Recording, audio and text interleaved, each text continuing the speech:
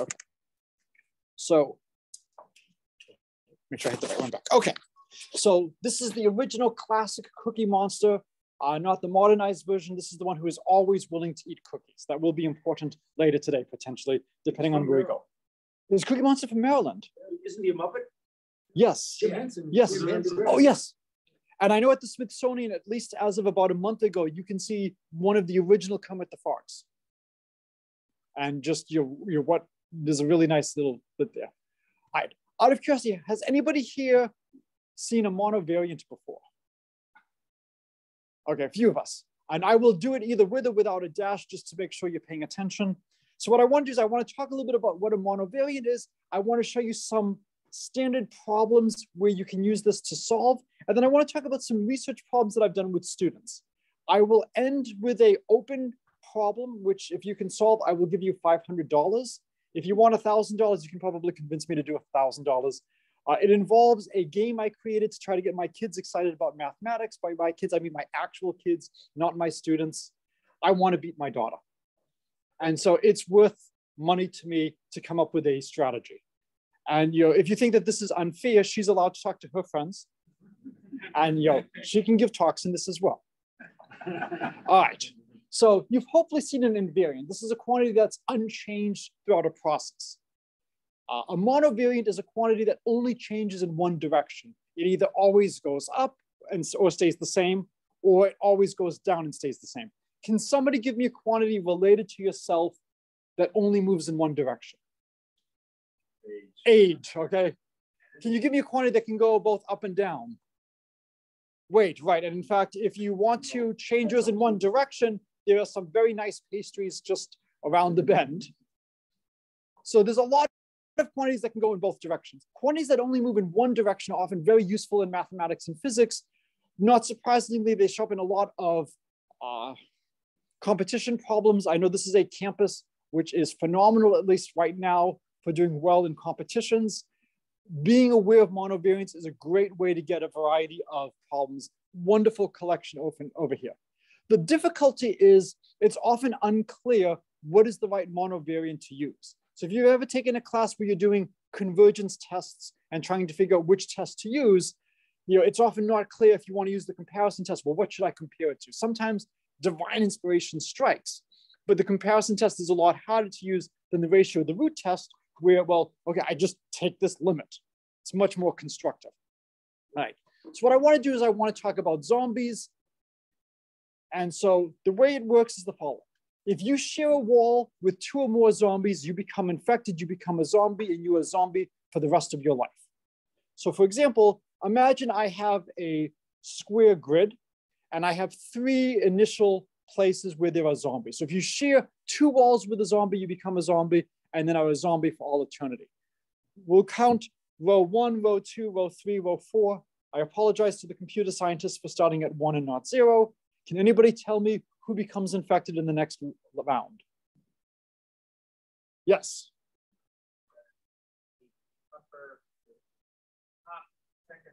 Yes. Yes. And is anybody else infected in the first motion? Okay, so just those two get infected. So one unit of time later, these two are infected. Does anybody get infected at the next stage? Yes, in the back. You want to try it as to who might get infected?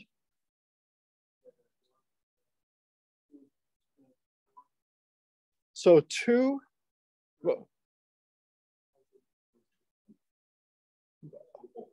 which, which, for, for, what? Okay. Is this row one or row four? That's right. Okay, so you're doing the opposite. Okay, so row two, Hopefully, yes, this gets infected anybody else. And this one over here, excellent. And so I think the pattern is pretty clear. The next one, uh, once these are infected, you would get those two over there.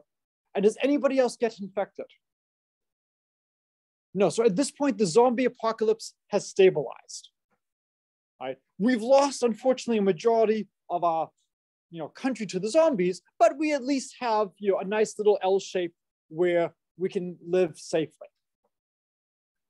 So am I allowed to use strong language here? Yeah. Okay. So That depends. I'm going to go with your first answer of yes. So I want the easiest initial state that will ensure that at some point in time, everyone is infected. The easiest. I want you to be a smartass. If you're not willing to do that, please lower your hand. Are you willing to be a, okay. Give me the easiest initial state. The easiest, easiest. No, no, no, easiest. Thank you. Yes. This is the easiest initial state where it is very clear that at some point in time, everyone will be infected, right? If you start off with everybody infected, it's not that hard to show. In fact, I can even tell you how long you have to wait. What's the next easiest? Yes, you could remove one, right? And you could go a little bit further. Instead of removing one, I could maybe remove like a checkerboard pattern. But if you look at this, I still have 50% of the squares infected. So you know, it's a great savings, but it's still you know, on order n squared infected cells initially. So now can you give me a better suggestion? Okay, now so now if we do the diagonal, and there seems to be a little bit of a delay as it sends it from the iPad to the laptop and then the laptop to the screen. So I will try to then uh, time things in a little bit in advance. So if we infect the diagonal, then what you can see is one moment in time later, it's going to expand out and get the diagonals above and below. And then as you keep going like this, it's going to slowly, slowly, slowly keep increasing until eventually everybody's infected. And you can tell exactly how long it's going to take. It's just going to be the number of diagonals I need to get to the very end. Okay, and so the diagonal is good. Is it possible to infect everybody on an n by n square with fewer than n initial infected cells? Can anybody do it with n minus one?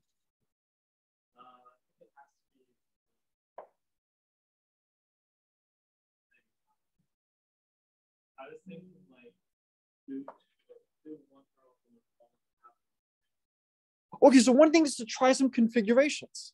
Yes. Oh, well, the answer is no, because if um, a row oh. doesn't have something. okay, I, I don't want to jump to the answer, but so you're going to conjecture no.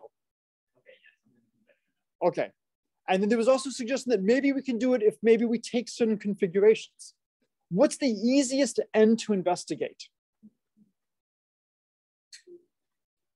One, right? Start easy. Let's build up some intuition. So we look at the one by one square and we can infect no one. Okay, it's pretty clear that no one's going to be infected. If we do the two by two, well, we can only infect one square. By symmetry, doesn't really matter which one we choose. We see that there's no way the infection can spread. If we look at the three by three case, and you can use this uh, if you ever want to play tic-tac-toe against little kids and you know take them down, you know, how many opening moves are there in tic-tac-toe? Well, up to symmetry, there's only three opening moves in tic-tac-toe. You can do a corner, you can do a middle, you can do a center. And then for each one of these, you can look at how many responses do you have. And so if I can only infect two cells out of three, there's five cases to consider here, five here, and only two here. And you'll very quickly see that when n equals one, two, or three, there's no way to get everybody infected. And so now you might begin to believe, as has been conjectured, that there is no way that everyone will be infected. So I don't know if this is what you're about to suggest, a perimeter approach. Well, I was going to say that if you, oh wait, what I was going to say was wrong actually. Okay. There might be a way to save it, so we should talk afterwards. So a lot of this subject about monovariants, finding these quantities that move only in one direction, it's an art form. It's trying to find what's the right object to look at. And so the insight here is let's look at the perimeter of the infection. Let's look at the perimeter, the outside boundary of who's infected. So imagine I have two cells infected over here, and these two cells are not infected. So this wall over here is an external wall. This is an external wall over here, but these other two horizontal ones, you know, I have nothing there yet. When I infect the cell in between, I've lost two external walls. They've now become internal, internal but I've gained two external walls. So there's no net change in the perimeter of the infection. I could, instead of having two horizontal ones like this, I could have two ones you know, forming like a little corner like this. And again, I'm going to lose two external walls and gain two external walls. There's no net change in infection. And by symmetry, these are the only configurations I need to consider when two of the four neighbors are infected. I now have to look at, well, what if there were three neighbors that are infected? Well, without loss of generality, I might as well assume it's like this. I now lose three walls and I only gain one. So the perimeter went down by two. And of course, the other case is if there are four infected, then I lose four walls and the perimeter goes down by four. So no matter what, the perimeter as the as time passes, as the zombies evolve, or not evolve, uh, the perimeter never increases. It either stays the same or goes down by two or goes down by four. Well, if I have n minus one infected cells initially, the maximum perimeter I can have is four times n minus one or four n minus four. And so again, since the perimeter never increases, what's going to happen is since the perimeter of n by n squared is 4n, and the maximum initial perimeter is 4n minus 4, there must be at least one square safe. So there's at least one safe place to be, no matter what the infection configuration is at the start. Can anybody prove that there's something better than just one safe square? Obviously, you take off another one because you can't get one. Right. So if there was only one safe square, every square has at least two neighbors. So even though I only can prove right now that there's one safe square, we know there has to be at least two. So I don't want to talk about this out loud. So I'll leave this as a challenge.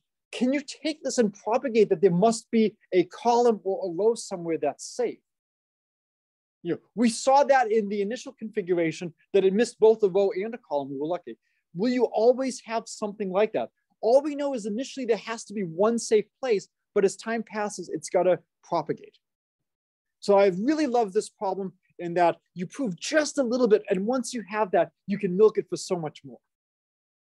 Okay, so uh, I've been talking with some people about the amazing John Conway. I was fortunate enough to be a graduate student at Princeton when he was there. A wonderful person, phenomenal view of mathematics, if he wanted to give a 45 part series of mathematics of Bellylint, he would find incredible connections between. He could take the strangest things and see the deepest mathematics. So what I want to talk about is the Conway checkerboard or soldier problem. And the way it works is uh, financial times are good. We have a checkerboard that's infinite by infinite. Uh, for practical purposes, I'm only going to draw a finite analog of it, but imagine it extends infinitely to the left, to the right, down, and up.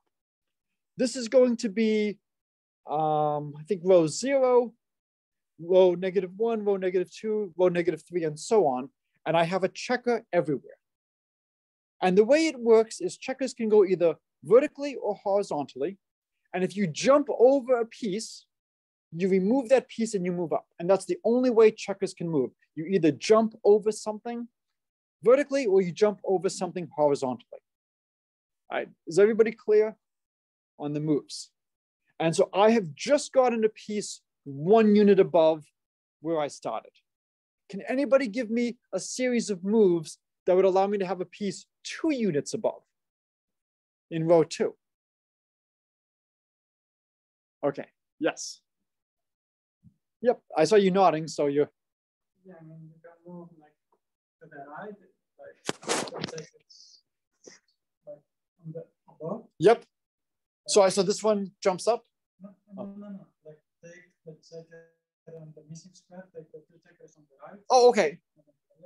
Move this over here. So have this one jump to the left and then and then have that jump up. Excellent.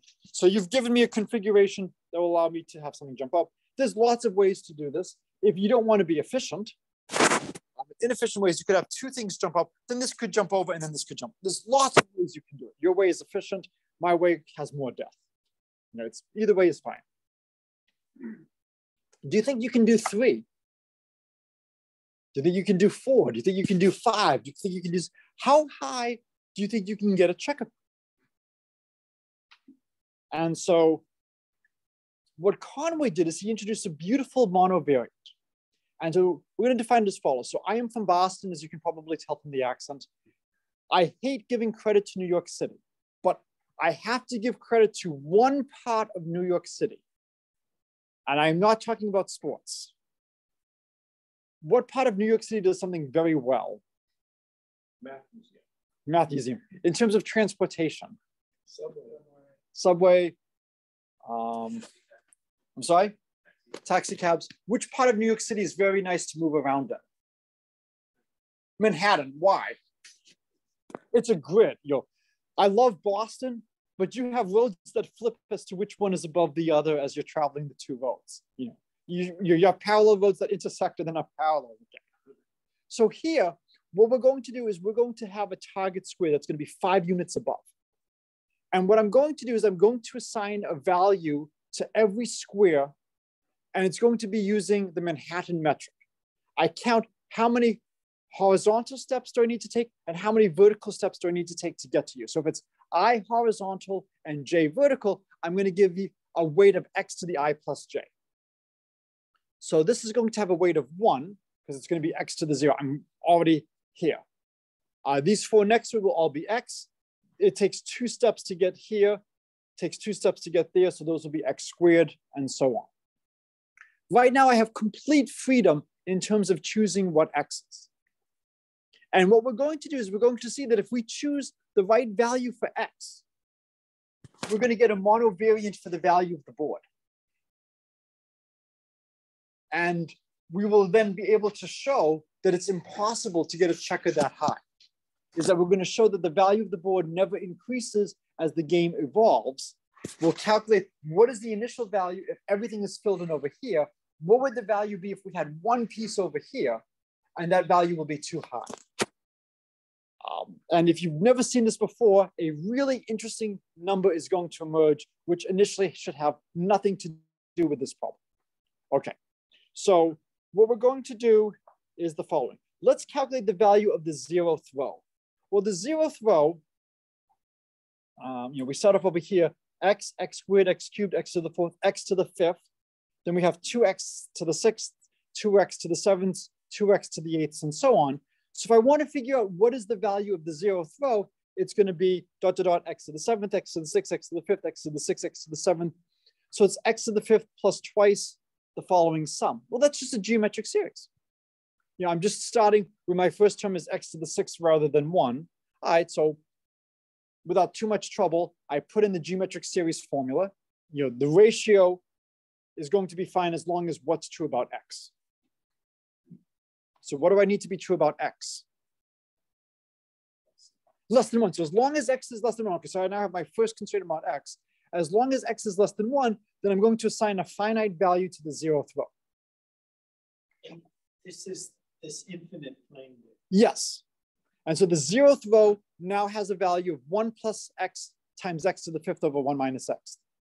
Can anybody tell me quickly what would be the value of the negative first row? Knowing the value of the zeroth row. Yes. It's x times that because everything is just shifted down one more vertical step. And if I go down two rows, it'll be x squared times that. So each row is just x times the previous. And so I now get a geometric series times that. And when the dust settles and you do a little bit of algebra, you get one plus x times x to the fifth over one minus x squared. And that's gonna be the initial value of the board. And I can choose any value of x that I want. Well, there are two types of moves I can do. I can lose two pieces and add a new piece that's further from t, or I could lose two pieces and add a piece that's closer to t. Well, the further away you are, the smaller the value you're going to be because x is less than one, I'm going to have x to a higher power. So if I lose two pieces and replace them with a piece that's further away, I've clearly decreased the value of the board. So the only thing I have to worry about is what if I take two pieces and do a jump and end up with a piece that's now closer? Could the value of the board have gone up? And so what I can do is let's just look for definiteness at, let's say I have something at x to the sixth, x to the fifth, and I jump and I have something at x to the fourth. With a little bit of inspection, you can see all the calculations will be the same. So the change is I now have something at x to the fourth. I subtract off what I had started with, x to the fifth, x to the sixth, and I get x to the fourth times one minus x minus x squared. Well, if I make this equal to zero, then there's no net change to the value of the board. So this is just a quadratic that I have to solve. Does anybody recognize either this quadratic or its cousin? Yes. It's related to the golden ratio. Normally you do x squared minus x minus 1. So it's essentially like 1 over is the transformation. And so this is essentially related to the golden mean and the Fibonacci numbers. And so when we try to solve this, we get x equals um, negative 1 plus minus root 5 over 2. Um, we want the positive root. And so we get, you know, basically the golden mean minus 1. And that will be a number less than 1. So if we choose this to be x, then every time we do a move, the value of the board either stays the same or goes down. And now we can use this to analyze the problem. So we choose our target point t. The initial board value, when we put in x equals root 5 minus 1 over 2, is 1. If we want to put a target at 0, 4, if we want to try to go up 4 units, well, we calculate what would that value be? It would be 0.618. That's less than 1. It's possible that if I start with this infinite board that's filled and I do a bunch of moves, I could end up with something 4 units above because that doesn't violate that doesn't prove it's possible. It just proves that it's not inconsistent. If, however, I want my target to be at 0, 5, the board's initial value must be at least 1. Well, the board's value is exactly 1. So the only way I could get something at 0, 5 is if every piece is removed. And I'm left with the dust settling with a piece at, one, at 0, 5 and nowhere else. So at the very least, it's impossible to do this in finite time. Um, I'm not going to bother making the slide small so that you can see the little footnote over here. It turns out that there's a generalization of this game where you are allowed to do infinitely many moves at once if they're the right number of infinitely many moves. And if you do that, then it is possible to get something to zero five in a finite number of moves. But of course, you're not doing infinitely many moves at once. only do the standard game this is a wonderful proof that you cannot get anything to zero five. That by looking at this right monovariant, and that's the difficulty, is you've got to figure out what is the right thing to look at. And that's where the artwork comes into play. And so what I want to do now is I want to pivot to a research area of mine. I do a lot of work with Fibonacci numbers. And I love doing projects with students on these. You know, we've done projects both in my standard REU and the polymath because the prerequisites needed are extremely minimal. And you can see lots of fascinating, interesting relationships. And so what I want to do is I want to talk a little bit about the Fibonacci numbers. So is there anybody here who can start to be citing Fibonacci numbers for me? Okay, so you're starting one, one, two, three. Did anybody give me another start of Fibonacci numbers? Zero, one, one, two, three. And there's another way to start the Fibonacci numbers. One, two, three. So there's three different ways. We can get into good fights as to what's the best way to define the Fibonacci's. I am going to argue that the best way to define the Fibonacci's is to go one, two, three, five. And the reason is Zeckendorf's theorem. Every positive integer can be written uniquely as a sum of non-consecutive Fibonacci numbers. Well, if you allow two ones, then you lose uniqueness. If you allow a zero, you lose uniqueness. So if I define my Fibonacci numbers like this, it turns out every number can be written uniquely as a sum of non-adjacent Fibonacci numbers. So I probably should have updated this from the last time you've heard the talk because it's now 2023. Uh, the last time you heard the talk was 2022. And so you know, the way you prove this, or at least one way you prove this is the greedy algorithm. Take your number and throw away the largest Fibonacci number you can. Look at what's left over, throw away the largest Fibonacci number you can. If you happen to throw away two Fibonacci numbers that were adjacent, then you're an idiot. Because the, the sum of two Fibonacci numbers that are adjacent is just the next Fibonacci number. So each term is the sum of the previous two. So if these two numbers were adjacent, this isn't the largest number I could have thrown away. I could have thrown away the number that was one more than that. So you keep throwing away the largest number you can, and that will give you your decomposition. And with a little bit of work, you can show that you can't have two different decompositions as a sum of non-adjacent Fibonacci's. It's a nice exercise to show that. Okay, so I assume people have seen this definition of the Fibonacci's before. It's the sum of the previous two. It turns out an alternative way to define the Fibonacci's is they are the unique sequence of integers such that every number can be written as a sum of non-adjacent terms of the sequence. So let's start off with the number one. Okay, let's try to write two as a sum of non-adjacent terms in the sequence. Well, I've only got one, so I've got to add two to my sequence. All right, so now I've got one and two. I want to get three. I can't do one plus two because they're adjacent, so I have to add three. Now I have one, two, three, and I want to get four. Can I write four as a sum of non-adjacent Fibonacci numbers? Yeah, one plus three. But I can't do five. You know, three plus two, nope, not allowed. And three plus one is too small. So I have to add five. So now I have one, two, three, five. Can I get six? Yeah, five plus one is six. Can I get seven? Yes, five plus two is seven. I can't get eight. So I have to add eight as the next term. So it's a nice exercise. You can prove that this is an alternative definition of the Fibonacci numbers. And you'll see that you, you can now get 9, 10, 11, 12, and you have to add 13. So there's this nice interplay between definitions of legal decompositions and recurrence relations. You have seen stuff like this before, but it hasn't been uh, emphasized.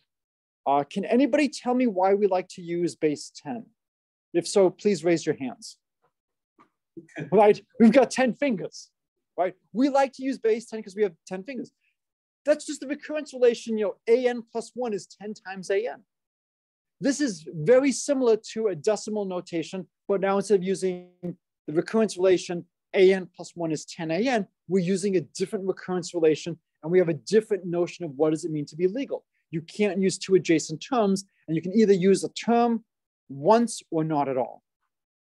Okay, so the next thing you can ask is, well, there's many ways we can write numbers as sums of Fibonacci's. I can write 18 as 13 plus five or 13 plus three plus two. It turns out if you look at all the different ways to write a number as a sum of Fibonacci's, the fewest summands will always be from the Zeckendorf decomposition. It's possible that you could have a decomposition that has as few summands as the Zeckendorf, but nothing will ever have fewer. So for instance, if I give you um, 16, I can write 16 as 8 plus 8 or as 13 plus 3. So they both have two summands. Nothing is going to have fewer summands than the Zeckendorf. And you can ask what other recurrence relations have this kind of uniqueness property with their legal decompositions. So I'm not going to go into you know, detail on that, but I will quickly talk about why the Zeckendorf decomposition uh, is summand minimal. And then we will see how we can make a game from this. Well, it shouldn't surprise you that I'm going to attach a monovariant to the problem, given that this is a talk on monovariants. And so if I can write n as a sum of ak, fk, so fk is my kth Fibonacci, ak is how many times I have it, I'm going to associate to this decomposition what I'll call the index of the decomposition, the sum of ak times the square root of k. When you see the square root of k, you're like, really? Why, why can't you just do ak times k? It turns out you can do ak times k, but it makes things a little bit harder because it's not always going to be strictly decreasing. This makes things strictly decreasing. It's just a little bit more algebra. Uh, has anybody ever heard the phrase TANSTAAFL? All right, TANSTAAFL, there ain't no such thing as a free lunch. You have to pay for something somewhere. Where do you want to pay? I can have a slightly worse definition of my monovariant, but now I'm going to have something that's strictly decreasing, or I can have the more natural definition, and it's no longer going to be strictly decreasing, and I have to do a little bit more algebra. It's purely a question of where do you want to do the algebra. It turns out that without too much trouble, you can show that there's only a finite number of decompositions we need to consider for given n. I'm clearly never going to use an index larger than n because then the Fibonacci number would be larger than my number.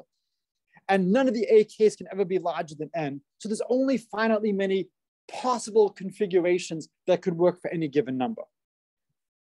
And then what you do is you show that this index is a monovariant and you show that you'll always end in the Zeckendorf decomposition. And as you travel from whatever decomposition you started with to the Zeckendorf, you just show that you never increase the number of summands. So there's two ways that you could not be a Zeckendorf decomposition. You could have some index twice, or you could have two adjacent ones. And then you go through and you just do the algebra. Well, what would happen in each case? Well, if I had two adjacent ones and I replace it with the next one, I look at, well, I had a root k plus a root k plus one, and you show that that's greater than the square root of k plus two. So the total value of the index went down when I did the swap. If you had something doubled and you replace it uh, by switching things out, you again show that it's going to decrease things. You've got to be a little bit careful if k equals one or two. Things are a little bit hard because of how the Fibonacci start. The Fibonacci numbers, I know we said are going to be one, two, three, but they're really not one, two, three. They're really zero, one, one, two, three. And we have to play some little games like that at the very beginning. It's a small amount of algebra. It's not too bad. It shows you that you have a monovariant. Okay, I'm not going to go through in general, but just for the professors who are in the audience who really, you know, care, if you look at recurrence relations in more general form, if I have that the coefficients are integers and the, the oh, it's really bad that they do, and the coefficients are strictly decreasing, so C1 less than equal to C2 less than equal to C3, uh, you can then show that you will have a unique decomposition. And I did this with some of my REU students a couple of years ago. All right, so what I want to do for the last part of the talk. Oh, yes. Yes, that's right. Uh, for the uh, connections here. Yes. Um, and so, um, and then she went to Carnegie Mellon. Mellon. Yes. Just getting your PhD. And she's getting her Summer. PhD there. Yes. Yep. I remember visiting her very recently. All right. So now we're going to switch to the Zeckendorf game. So this is the game that I created. If you can find out how to win, I will pay you $500. I am open to paying you $1,000. If you want to go more than that, uh, my daughter is trying to get me to do a crazy fuse bead project that would involve s- 360,000 fuse beads.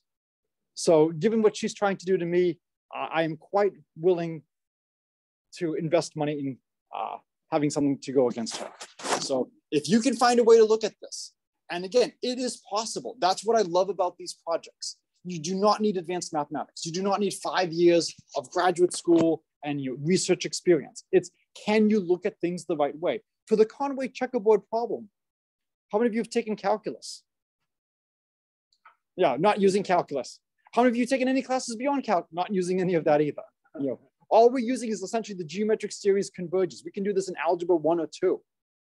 It's can you look at things the right way? And that's what I love about this. Can you look at it the right way? So if you find the right way to look at this, which is possible, uh, I'd be very happy. So we're going to play a two-player game. The last person to move is going to win. And the bins are going to be the Fibonacci numbers, F1, F2, F3.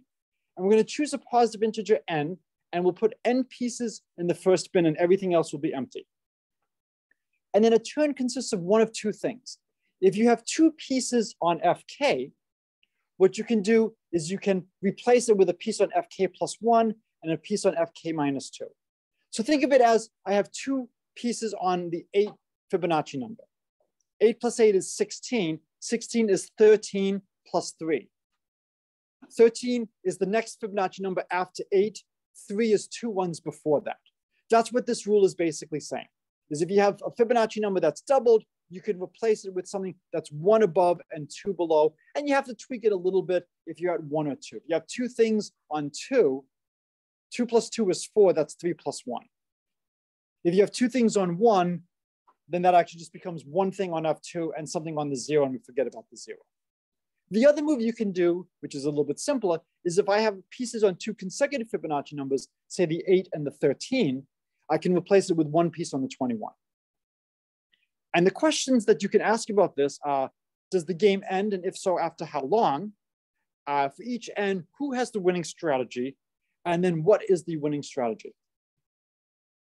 So imagine you, Just question. This is like the total sum is, stays the same. the total sum stays the same, exactly. Yeah, okay. Uh, and we're going to see very shortly that the game will always end in the Zeckendorf decomposition. So when you play this, you will always end in the Zeckendorf decomposition. But the number of turns it takes to get to the Zeckendorf decomposition can change. So you can ask questions about what's the fastest game? What's the slowest game? Anybody know what national event is going to happen in 2024? Election, right? Imagine I can tell uh, your favorite candidate that good news, I've done the theoretical work. I can prove that you can win the election in 2024. What are they going to ask? No. Okay, and I said, well, I, am a theoretician. It's an existence proof. That's not as useful as saying, here's the constructive proof of what you should do to get to a winning coalition. We're going to see, unfortunately, uh, for each n greater than two, player two has the winning strategy, but it is a non-constructive proof. I want a constructive proof so I can beat my daughter. That's the question. Right? So let's actually play a game. So let's start off with 10 pieces on the one bin. So we've got one, two, three, five, and eight. Okay, I don't need the 13 because I'm never gonna have 13 as one of the summands in the decomposition. So there's only one possible opening move. I take two things on the one and put something on the two. And so once I do that, I now have eight pieces on the one, one piece on the two, and zero everywhere else.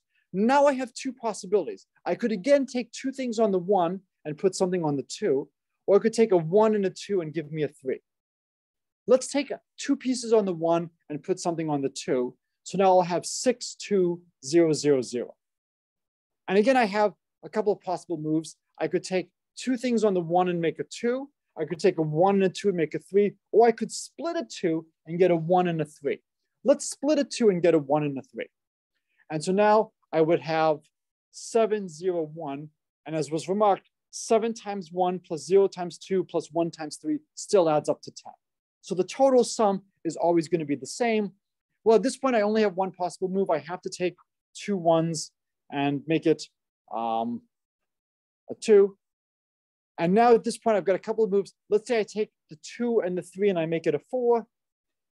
So I'm gonna be five, zero, zero, one, zero. Again, I now only have one possible move. And we just you know, keep playing the game like this. And so, you know, again, I'll just go through a bunch of moves and I'll just, you know, summarize the table at the end as to what happens. All right, and so these are just the bin numbers down here, one, two, three, five, eight. And here is a list of, in parentheses, you know, whose turn it is. Player one starts with 10 things over here and they moved and now it's player two's turn and this is the configuration. And after player two moves, player one is facing this configuration. When you look at this table, something should seem a little bit strange about how this table is written.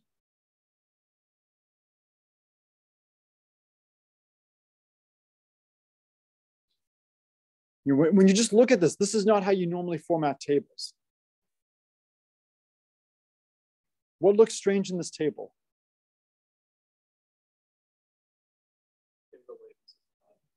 I do have the labels at the bottom. I could put the labels up top, but I was afraid they were gonna things were gonna be cut off, and I didn't want things that really mattered to be cut off. Look at the table. Something seems strange when you're looking at it. There's a gap. There's a gap. So over here, it was player two's turn. And what player two chose to do uh, was they took a one and one of the pieces here and made a three. They could have done something else. What else could they have done? So they could have taken the two and they could have split it. So if we do it like this, player one is moving, two is moving, one is moving, two, one, two, one, two, one is moving. And when they get to here, there's no moves left. So player one has triumphed. If instead player two were to do the move of splitting the two, now that changes it, and now player two has triumphed. So this shows you that sometimes player one can win, sometimes player two can win. And so the question is, who has the winning strategy? And so the first theorem is all games end in finitely many moves. It's good to know that this game is going to end. And what you do is you show that the value is a monovariant and is in fact strictly decreasing. So every time you play, every time you do a move, the value of the board of this index goes down. And since there's only finitely many decompositions you can have because we can't use anything larger than index n, and we can't have more than n copies of anything, we know the game is going to have to end because we can't go through infinitely many things always getting down. There's not going to be an infinite descent. The game value goes down. It's strictly decreasing. There's only finitely many possibilities. We've got to get to a point where no more moves are available. And when we hit that, we have to be in the Zeckendorf decomposition, if we would in the Zeckendorf decomposition, then there would have been a move available. So all games will end in a finite number of times and they'll end in the Zeckendorf decomposition. As mathematicians, you can then start proving results about, can you tell me something about how long the games will take? Can you give me upper bounds? Can you give me lower bounds? You know, there's lots of things you can do. What if you just played a random game? What if you just take moves at random? We believe that the number of moves is going to be a Gaussian in terms of counting all the different. We can't prove this yet, but we're getting closer. I think we've now been able to prove that half the time the games have an even length and half the times the games have an odd length. So what I want to end today with is I want to show to you that player two has a winning strategy. And I will give you a non-constructive proof. Uh, so if you've never seen non-constructive game theory before, it's a interesting subject. So I'm going to start with the game. I've heard this game called Chomp. I don't know if anybody has seen this one before. So the way it works is you choose a circle and then you eat that circle everything above and everything to the right. Whoever goes last loses. If it was whoever goes last wins, where would you go on your first turn? Lower left, right? And the game would not be that hard to analyze. So for this one, whoever goes last loses. So I'm going to prove to you that player one always has a winning strategy. So there are going to be two possibilities. One possibility is for given board, player one has a winning strategy. Well, if so, player one should play it.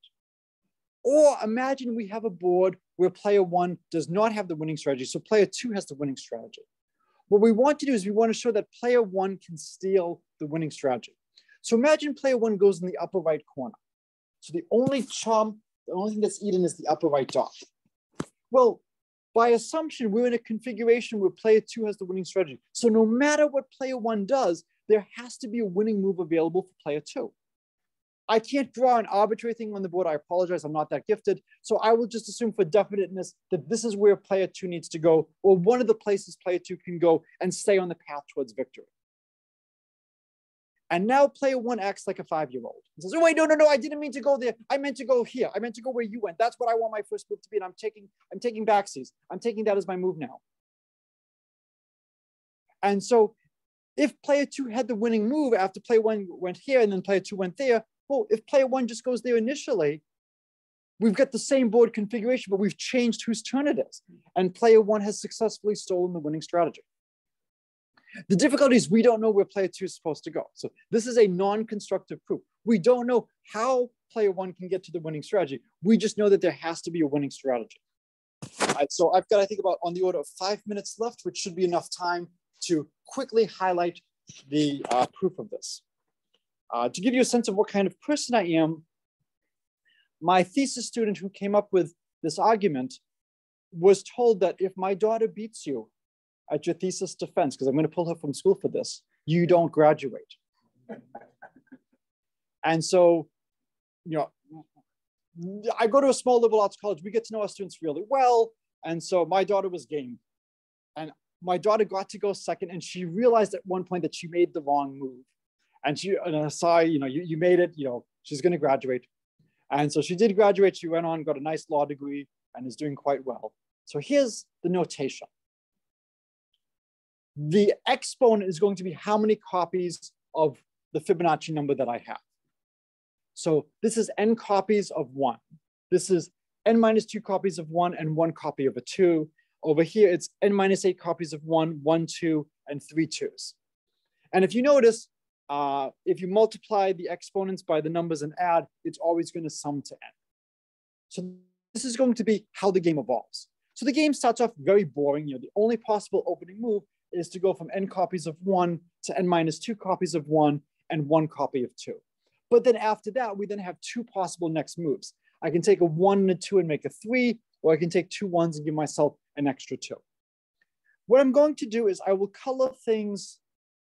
Wow. I mean, uh, let's see if your eyesight is good. If you have good eyesight, you should see that what it's projecting is not the color that I have on my iPad. So we'll call that, I think, a pinkish on the screen that's being projected. For those of you who are watching the YouTube video later, it's more like an orangish, but we'll color things pink if player one has the winning strategy and blue if player two has the winning strategy. Let's assume player one has the winning strategy. So player one goes here, we start the game, and now after player one's first move, we end up down one, and player one still has to have the winning strategy no matter what player two does, player one is still going to have the winning strategy. Well, so that means whichever move player two does, I'm going to have to color it pink. And so for definiteness, I'm going to focus on the left-hand side, the n minus three copies of one and the one copy of three. You have to do a similar analysis for the other side, but it's not so bad. Now, things are actually pretty nice. If I have n minus three copies of one and one three, there's only one move that player one can do at this point. So I know that's still gonna be colored pink. You know, once you have more than one move, you know, if I was on the right-hand side, there were three possible moves. It's possible that one of them might have been a bad move for player one, but on this chain, it's easy. So now I'm over here. Player two gets to go. No matter where player two goes, by assumption, we're assuming player one has the winning strategy. So they all get colored pink. And now things are more complicated. I have lots of different places where I am. I have lots of different moves that I can do. But by assumption, I'm assuming player one has a winning strategy. So there's got to be uh, some point. So at the very top, player one was going, then player two, player one, player two, player one is going. We come down here. And let's say we move to this square where we have uh, n minus five copies of one and one copy of five. So here, player one was moving, player two, player one, player two, player one, player two. Now it's player two's turn to go. But notice a moment ago at the previous level, we had a different person going at the same configuration. And we said, that's a winning configuration for player one, the person who's going. That means we have to color this blue. And so you can then have things propagate around and propagate back up, and you can see that you're going to get to a uh, contradiction. And so there is a way for player two to steal the win. So the assumption that player one had the winning strategy is wrong. Now again, this is not going through all the cases. You would never want a speaker to do that in a talk like this. You want enough to just get a sense of what's going on. And so I'm gonna skip the generalized game um, and just you know talk very briefly about you know some current work. You could have more, you know, whenever you see anything in math, always ask, how can I generalize this? How can I push this further? What if we had more people playing? Especially what if you start to have alliances among people? What can happen? Uh, what happens if you just play the games randomly? Uh, can you say things about how long games take? We recently proved that the number of possible moves in the game is actually a closed interval. Uh, has anybody here seen the 3x plus 1 problem? Okay, if you have not seen it, I don't necessarily want to tell you it right now. Uh, the two best quotes I know about it are uh, Paul Erdős, mathematics is not yet ready for problems like this, or Kakutani, this is a Soviet conspiracy to slow down American mathematics. It sounds so doable and people have spent so much time and frustration on it. If you really want to do this to yourself, I will talk to you afterwards about what is the 3x plus 1 problem. But there's two ways to do the 3x plus 1 problem. You can multiply by 3 and add 1 if you're odd, or you can pull out as many powers, of, and then you divide by 2 if you're even. Or you can do it all in one step and pull out as many powers of 2 as you can. And that's the accelerated 3x plus 1 problem. You could try to do things over here. What if we allow ourselves more moves? What if you have, say, six copies on the eighth Fibonacci number? Can I have myself split it one time, two times, three times, or four times? What if you allow something like that so you now have more possible moves? You're still going to end up in the Zeckendorf decomposition, but now the strategies become far more interesting. So, you know, again, there's lots of things you can do. What other recurrences can you do this for? For a lot of things, the Fibonacci numbers happen to be a really nice recurrence to work with. There are some other games where we can play this, but it's not always clear that the games will end. So we have one game that we think we know what's going on, except we can't prove that the game actually will end. We believe it will, but we can't prove that yet.